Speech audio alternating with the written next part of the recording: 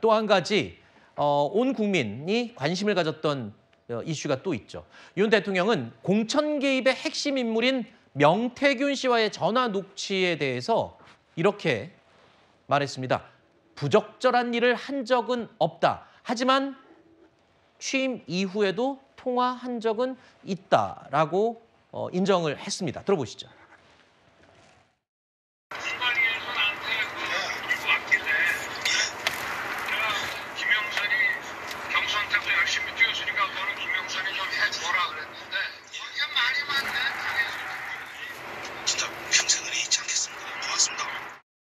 자기를 위해서 도움을 주려고 노력한 사람에 대해서 그렇게 매정하게 하는 것이 뭐하고 저도 또 본인도 좀 섭섭했겠다 싶어서 제가 그때 전화를 받아줬다고 명태균 씨와 관련해서 부적절한 일을 한 것도 없고 또 뭐 감출 것도 없고 그렇습니다. 자, 명태균 씨는요, 어, 오늘 SNS를 통해서 저의 경솔한 언행 때문에 공개된 녹취로 상처 입은 분들께 사죄드린다라고 밝히기도 했습니다. 일단 어, 명태균 씨의 통화 녹취록 공개가 최근에 되면서 공천 개입 의혹이 아주 뜨거운 이슈로 급부상하지 않았습니까? 이 부분에 대해서도 대통령이 앞부분에 굉장히 허심탄회하게 대답을 했거든요. 그러면서 기자의 질문에 그랬습니다. 어, 당선 당시, 당선인 당시에 통화한 것은 이미 이 대통령실에서 공식적으로 입장을 밝혔고요. 그 이후에 추가 녹취 공개가 민주당에서 계속 나오면서 어 그럼 취임 이후에도 지금 전화 통화한 거 아니냐? 이 질문 물론 했다고는 얘기했습니다. 하지만 도의적인 차원에서의 이 축하 또는 격려 차원이었다라고 답을 했거든요. 해명의 정도는 어느 정도라고 보십니까? 저는 죄송한 말씀입니다만 윤석열 대통령께서 혹시라도 추가적으로 민주당에서 윤석열 대통령의 발언에 대해서 이게 거짓이다, 거짓 해명이다라고 반론을 제기할 증거를 내놓을까 봐 네. 거기에 대해서 가능성을 열어두는 쉽게 말해서 두루뭉실한 얘기를 하셨다. 그 이유가 사실상 연락 안 했다. 그리고 도움을 주려는 사람에게 쉽게 말해서 박절하지 못했다라는 식인 거거든요. 네. 또한 그분이 문자를 보내왔는데 내가 답변을 안 하면 그건 소통을 한 것이라고 볼 수가 없다라든지 뭔가가 했다 안 했다로 딱 끊어서 얘기하지는 않으셨거든요. 네. 물론 본인께서 이제 기억에 대한 문제이기 때문에 기억이 잘 나지 않으셔서 그러는지 모르겠지만 어쨌든 야당이 느끼기에는 대통령께서 후에 어떻게 좀 공개될 수 있는 어떤 추가 폭로에 대해서 좀 대비해서 사실상 가능성을 열어둔 어떤 대변, 답변이 아니었나 그렇게 보여집니다. 네, 지금 어, 대국민 담화와 기자회견이 어, 끝난 지 얼마 안 됐는데요. 야당에서 야권에서 지금 반응이 쏟아져 나오고 있습니다. 먼저 이재명 더불어민주당 대표 국민들이 흔쾌히 동의할 만한 내용이 아니었다라고 부정적인 평가를 했습니다. 박지원 의원도 이야기를 했는데요. 윤석열 대통령의 회견에 대해서 혹시나 했는데 역시나였다. 그러면서 분노 심각성을 인지 못하고 있다. 기가 찬다. 국민들의 실망감이 깊고 분노는 높다라는 부정적인 평가를 내놨습니다. 자, 조국 혁신당의 조국 대표도 어, 이번 대국민 담화에 대한 의견을 내놨는데요. 오늘 회견의 요약은 김건희는 순진한 사람이다. 뭐 이게 핵심으로 들린다. 이런 식으로 폄훼하는 내용이 나왔습니다. 일단 야권에서는 당연히 좀 부족하고 어, 부정적이다라는 평가예요. 여당에서도 평가가 있지 않겠습니까? 어떻습니까? 내부에서는 분위기가?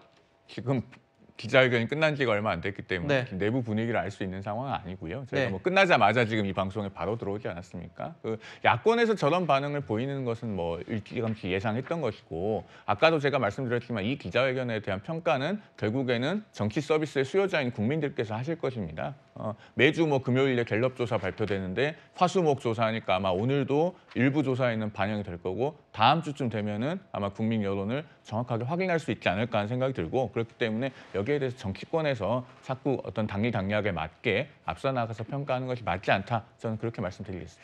자, 알겠습니다. 그리고 아까 얘기 나누던 명태균 씨 논란과 관련된 얘기로 다시 돌아가서요.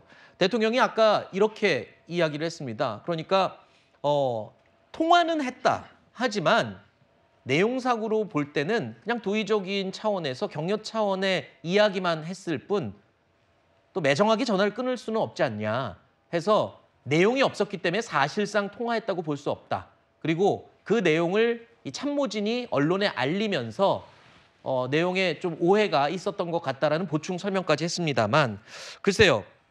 도움 준 사람에게 매정하게 하는 건 섭섭해할 것 같아서 연락은 받았다 라고 이야기를 했습니다. 적절한 해명이 됐다고 보시나요?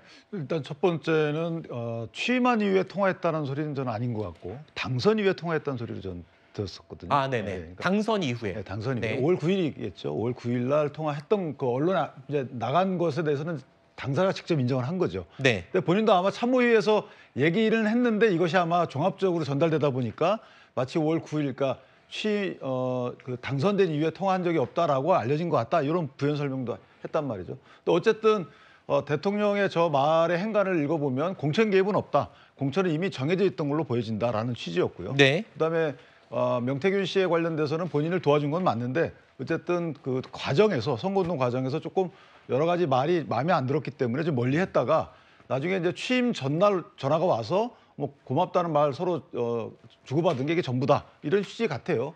그렇다면 저는 개인적으로 일반적 관점에서 보면 일단 어, 대통령의 해명이 저- 어, 특별히 상식적으로 틀린 건 없어요. 그리고 만약 앞에 이제 사과를 했기 때문에 저 부분에 대해서는 만약에 이 이후에 대통령과 명태균 씨가 통화한 내용이 나온다면 오늘 해명에 대해서는 이제 국민적 비난이 일 것이고 그렇지 않다면 이 정도로 일단락되는 것도 맞겠다 개인적으로 생각합니다. 네. 그래서 기자가 또 이런 질문을 했습니다.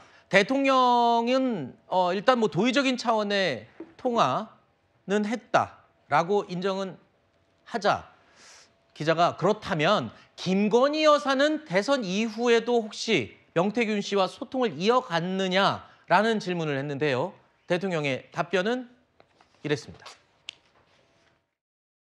제 아내 휴대폰을 좀 보자고 이렇게 할 수는 없는 거라 제가 그냥 물어봤습니다. 그런데 제 아내는 소통 방식이나 이런 게 좀 달라야 된다고 얘기를 하니까 본인도 뭐 많이 줄인 것 같고 한 몇 차례 정도 어? 그 뭐 문자나 뭐 이런 걸 했다고는 얘기를 합니다. 그런데 뭐 제가 이 자리에서 그걸 공개하기는 좀 그런데 에, 좀 일상적인 것들이 많았고요.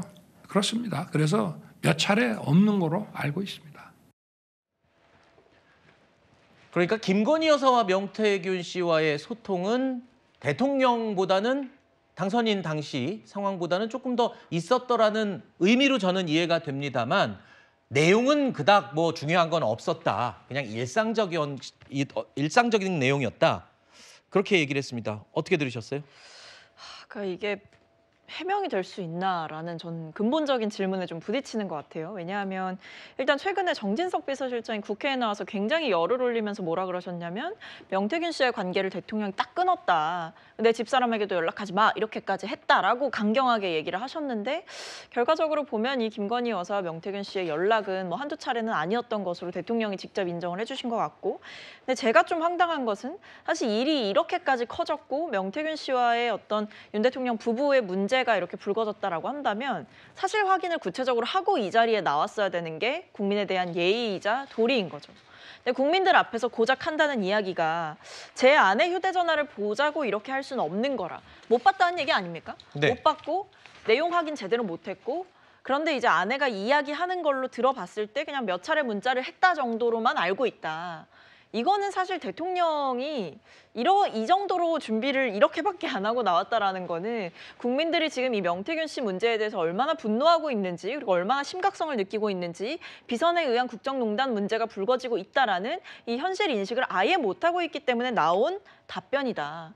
그러니까 이 부분에 대해서 대통령은 직접 메시지 내용도 못 받고 사실 확인도 못 해줄 뿐만 아니라 지금 이것을 이 자리에서 공개하기도 어렵다라고 얘기를 하잖아요. 네. 이거는 국민들의 분노나 의혹, 의혹을 해소해주기보다는 내 아내의 눈치를 살피고 내 아내의 기분을 신경 쓴다. 저는 이렇게 들리거든요. 네. 그러니까 저는 이런 부분들에 대해서 이 명태균 씨 의혹이 단순히 사인 간의 연락을 문제 삼는 걸 넘어서 어떤 이권 개입, 공천 개입 이런 게 불거진 범죄의 어떤 가능성이 있기 때문에 문제 삼는 건데 여기에 대해서 고작 한다는 얘기가 보자고 휴대전화를 보자고 이렇게 할 수는 없는 거라라는 게 저는 굉장히 좀 유감입니다. 네.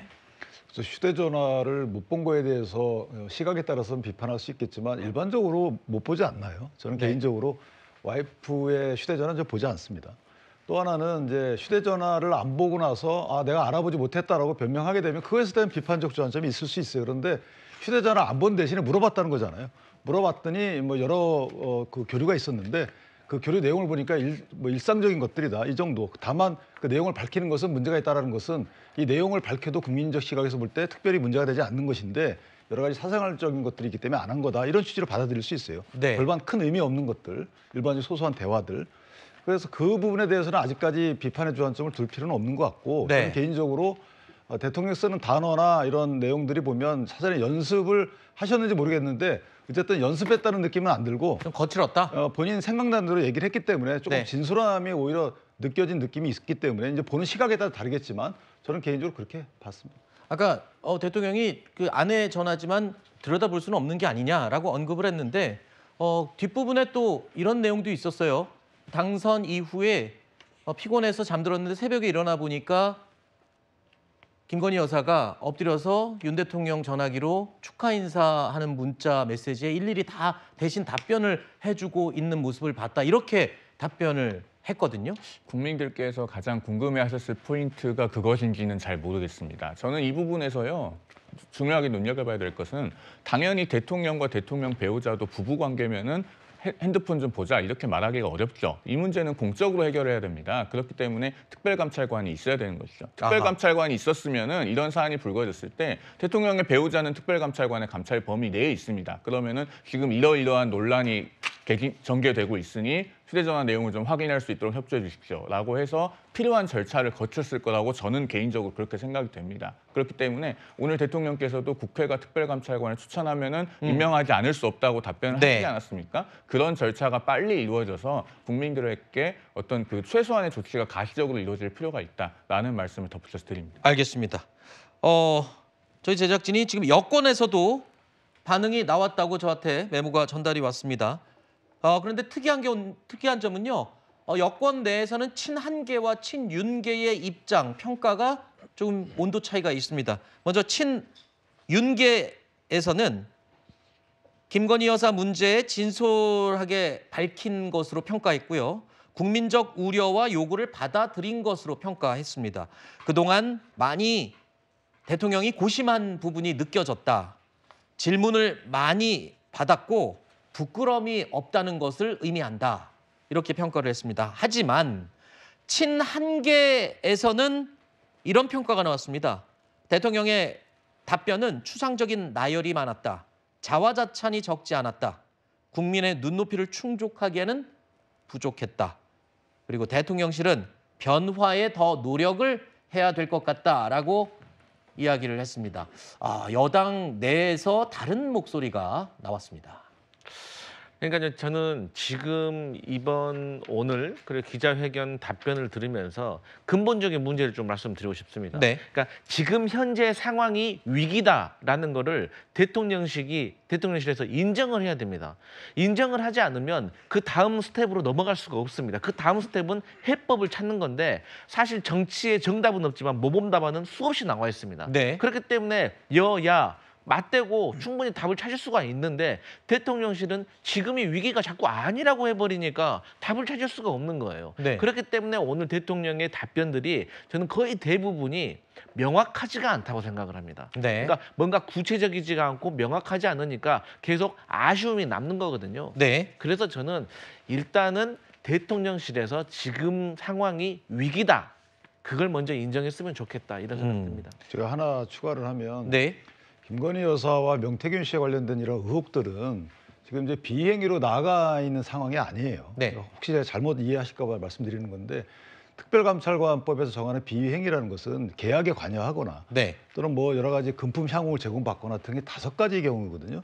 근데 거기에 해당하는 어떤 혐의가 있어야지만 휴대폰을 갖다 볼 수 있고 하는 것이지 그냥 마냥 어 뭐 여론이 안 좋으니까 당신 문제가 있으니까 휴대폰 주세요 이렇게 하는 게 아니에요. 네. 거꾸로 얘기하면 지금 김건희 여사와 명태균 씨에 관해 이런 불거진 문제들은 비행기가 있기 때문에 지금 이런 여론이 안 좋거나 이런 거 이런 단계까지 아직 안 이뤘다 이런 얘기를 드립니다. 그 제가 한 말씀만 드리겠습니다. 물론 특별감찰관법에서 그 다섯 가지 사항으로 한정하고 있다는 것을 저도 알죠. 그렇기 때문에 조금 전에 말씀드릴 때 협조해 주십시오라고 제가 표현했습니다. 특별감찰관이 있으면 그 자체로 모니터링을 할 수 있는 역할이 되기 때문에 분명히 어떤 방지나 예방에 있어서 순기능을 할 수가 있는 것이죠. 그런 차원에서 말씀드린 것이고 지금 여권이 처한 상황은 법리만 앞세워서 이건 법적으로 이렇고 저렇기 때문에 이러저러합니다라고 하는 것을 먼저 앞세울 때가 아닙니다. 지금 네. 특별감찰관이 할 수 있는 사항은 그 다섯 가지이기 때문에 김건희 여사의 휴대전화도 볼 수 없다라고 말씀을 드리면은 그것이 과연 국민 눈높이에 맞을지에 대해서는 다 같이 좀 숙고가 필요하다라는 개인적인 의견을 말씀드립니다. 알겠습니다.